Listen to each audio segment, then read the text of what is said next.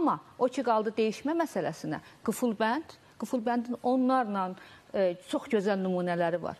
O Var, nədir ki, dayanıbdır dayaqsız, o nədir ki, boyanıbdır boyaqsız, boyaqsız. o nədir ki, doğar əlsiz, ayaqsız, 3 ay keçər, ayağı var, əli var. O yer göydür, dayanıbdır dayaqsız, o gün aydır, boyanıbdır boyaqsız, qurbağadır, doğar əlsiz, ayaqsız, 3 ay keçər, ayağı var, əli var.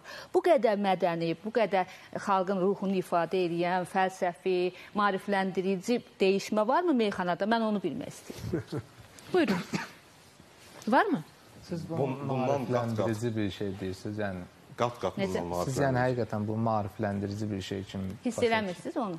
Burada mən Yox, onun dövrü var da, yəni bu gün yazılır. Hanı bir dənə Seyid dili gözəl olan, dili gözəl olan və yaxud ən azından ən azından o dəyişmə bir tapmaca idi, bir sualın cavabını bilir də dinləyən. Mən deyim birin. Bəli. Pərviz Bülbülə ilə Vüqar Biləcəri deyişirlər toyların birində və sürətli şəkildə 3 saniyədən bir bir-birlərinə bənd deyirlər. Pərviz Vüqar Biləcəriyə qayıdır deyir ki, Vüqar dinən hansı rəqs havasıdır?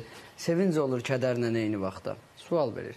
Vüqar 5 saniyəni keçmədən durur deyir ki, sən dediyin hava sayılır vağzalı, şərbəti var zəhərlə eyni vaxtda.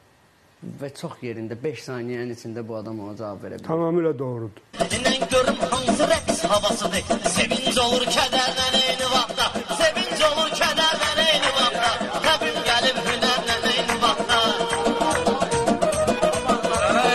Vardı meyxana saqqalı Bunun bilim bir havalı inandalı.